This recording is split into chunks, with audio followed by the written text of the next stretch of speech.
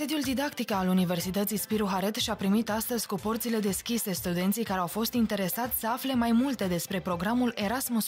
Și la sediul central al prestigioasei instituții de învățământ superior, dis de dimineață, tinerii au venit să se informeze în legătură cu acest program. Ar putea fi șansa vieții lor, susțin aceștia. Și asta pentru că speră astfel să își construiască o carieră peste hotare. Mi se pare foarte interesant acest program, datorită faptului că am foarte multe avantaje.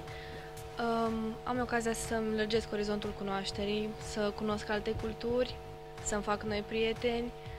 Uh, bineînțeles, vreau să văd și diferența între sistemul de învățământ de acolo și cel din România și cine știe, poate că am șansa să-mi găsești un job datorită faptului că în România, fără experiență, nu prea poți face nimic, nu prea poți să găsești de muncă. Acum că am aflat despre acest program de mobilitate, consider că am o ușă deschisă uh, în viitor, am mai multe oportunități, uh, oportunități uh, consider că um, am o nouă șansă de a cunoaște multe persoane și de ce nu să pot face o practică în uh, cadrul mass mediei. Pe lângă schimbul de experiență, studenții Universității Spiru Haret au posibilitatea să realizeze și practica de specialitate. Astfel pot interacționa cu unii dintre cei mai buni specialiști, așa cum s-a întâmplat și cu ceilalți tineri haretiști care au beneficiat până acum de bursele Erasmus. În momentul de față și universitatea noastră are doi studenți Eh, care desfășoară astfel de practică.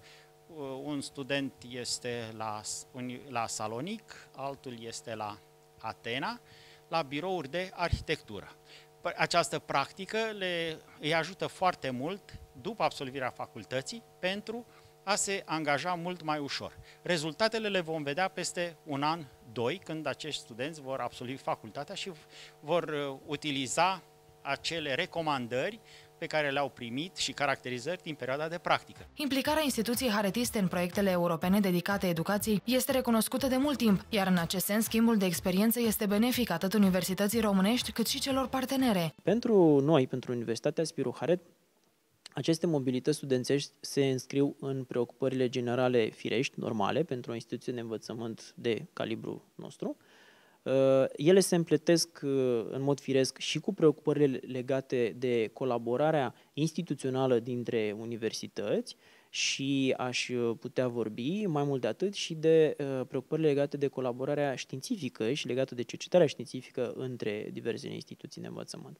Pentru aceste facultăți din campusul Didactica sunt semnate o serie întreagă de agreementuri, de acorduri cu alte universități care oferă posibilitatea efectuării de mobilități, atât studenți cât și cadre didactice, pe specializările uh, împărtășite în comun de facultățile pe care le-am enumerat și de echivalentul lor din străinătate. Pe lângă schimbul de experiență între studenți, Erasmus Plus oferă și cadrelor didactice șansa de a-și împărtăși cunoștințele în beneficiul cursanților din țările de origine și cele pe care le vizitează. Programul Erasmus Plus reprezintă așadar o oportunitate și pentru profesorii haretiști de a se familiariza cu metodele de predare și cercetare folosite de alte instituții de învățământ de prestigiu din lume. Mobilitatea cadrelor didactice ea se desfășoară pe două componente. Ați amintit de predare. Ei bine, pe lângă mobilități legate de predare, există și agreementuri care au specificate mobilități legate de training. Studenții interesați au posibilitatea să participe și la versiunea online a evenimentului, intitulată sugestiv Erasmus Online Open Door, prin organizarea unor discuții. Astfel își vor putea împărtăși în mod direct experiențele avute în cadrul proiectului.